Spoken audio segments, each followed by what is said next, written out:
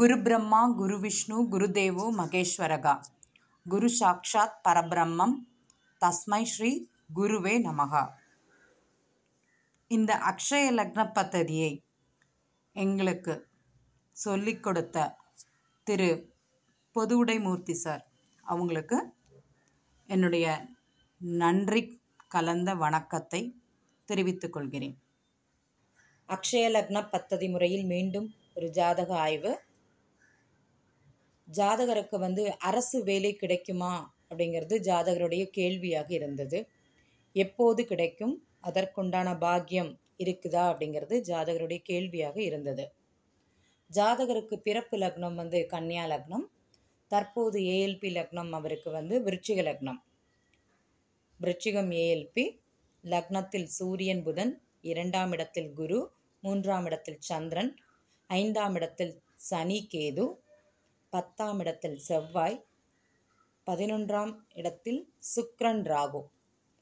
அவருக்கு வந்து இப்போ ஏஎல்பி லக்ன புள்ளி வந்து கேட்டை ஒன்றாம் பாதம்.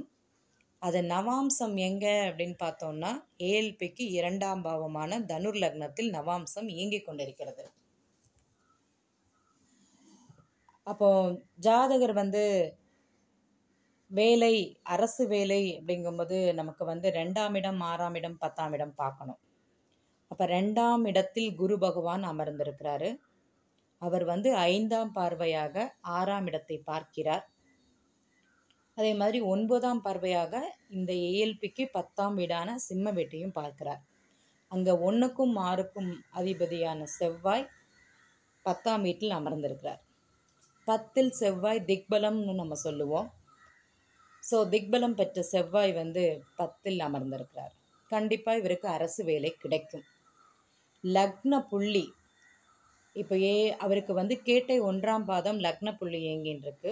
அதோட அதிபதி புதன் அவர் எட்டும் பதினொன்றும் ஆதிபத்தியம் பெற்றவர் வந்து லக்னத்திலே அமர்ந்திருக்கிறார். ஏஎல்பி லக்னமான விருச்சிகத்தில் அமர்ந்திருக்கிறார். ஸோ அவரோட முயற்சிகள் கண்டிப்பாக வேலை கிடைக்கும் அப்படிங்கிற மாதிரி ஜாதகருக்கு சொன்னோம். இதில் வந்து முயற்சி ஸ்தானாதிபதி சனி வந்து தன்னோட ஏழாம் பார்வையாக பதினொன்றாம் இடத்தில் இருக்கும் சுக்கரனை பார்க்குறார். பதினொன்றாம் இடத்தையும் பார்க்குறாரு. ஸோ கண்டிப்பாக இவருக்கு வேலை கிடைக்கிறதுக்குண்டான வாய்ப்பு. அதுமாரி சனி ஏழாம் இடத்தையும் பார்க்குறார். தன் பத்தாம் பார்வையாக இரண்டாம் இடம் வீட்டிற்கும் பார்வையிடுகிறார். வேலை கிடைக்கக்கூடிய காலம் எது அப்படிங்கிற மாதிரி அவருடைய கேள்வியாக இருந்தது. இன்னும் இரண்டு வருடம் அவருக்கு இப்போது டி நைன் வந்து இரண்டாம் வீட்டில் இயங்கிக் கொண்டிருக்கிறது. இரண்டு வருடம் கழித்து கண்டிப்பாக வேலை கிடைக்கும். இப்போ அவருக்கு அக்ஷய ராசி வந்து நாலாம் இடத்தில் இயங்கிக் கொண்டிருக்கிறது.